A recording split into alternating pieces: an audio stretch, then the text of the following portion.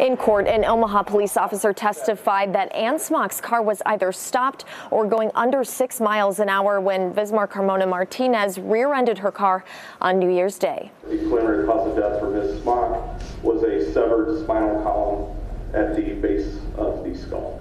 Crash investigators say they used car data box recorder info to see Vismar Carmona Martinez hit his brakes one second before slamming into Smock's car. Two witnesses told police Carmona Martinez's Chevy Malibu sped past them just before the crash. Is that party in the, Ford Focus? Did they actually see the collision? Uh, no, they do not.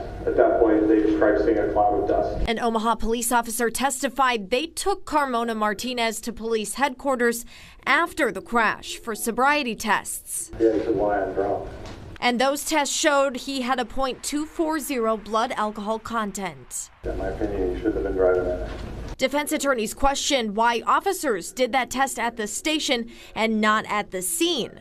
Judge John E. Huber had this to say. There's nothing unusual in that situation. That's exactly what happens in every single case that we have. Vismar Carmona Martinez's case is now bound over to district court for trial.